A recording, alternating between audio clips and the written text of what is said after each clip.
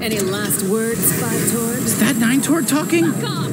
I've always said you were the worst, Torg! You know, Seven Torg said the same thing. Right before I killed her. Damn you! And you're next. You got this!